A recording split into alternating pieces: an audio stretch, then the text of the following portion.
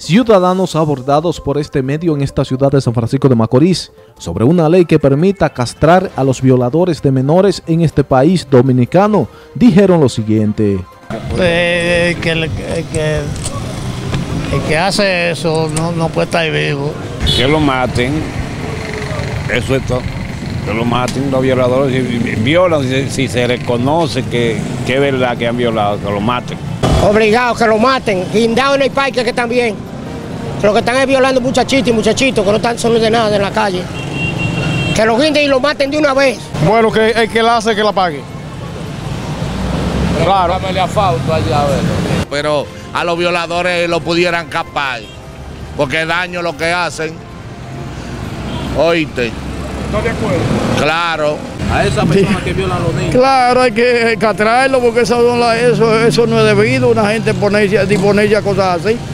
El hombre que se impone así, a cosas así, no catraerlo, pudieran coño catraerlo y, y- y dejarlo permanente preso para siempre.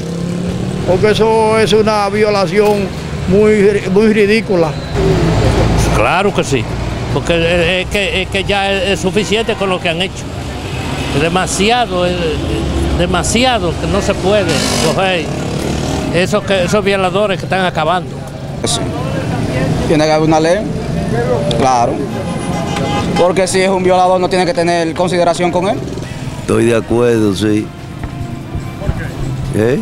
Ah, para que se acabe eh, eh, esos abusos que hay. Sí.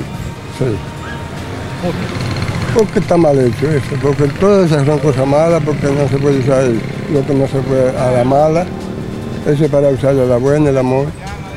Entonces, ¿por qué tiene que hacerse eso? Claro que sí, porque ellos no, ellos no hay ningún derecho de violar niñas, viendo tantas mujeres, mujeres adultas que, que dan para eso, y no, no es permitido que violen menores de edad. Claro, que los capen. Y hay que ver una vez que todo el que viole a un muchacho y lo mate, que lo fusilen. Para castrar a los violadores. No, que lo maten de una vez. Llegando a la fortaleza y matado. Que lo maten porque eso es malo. Eso es malo, eso es malo. Dios dispuso que la, lo- que la, la maldad no se hace y eso es ser maldadoso. NTN, su noticiero regional. Robinson Polanco.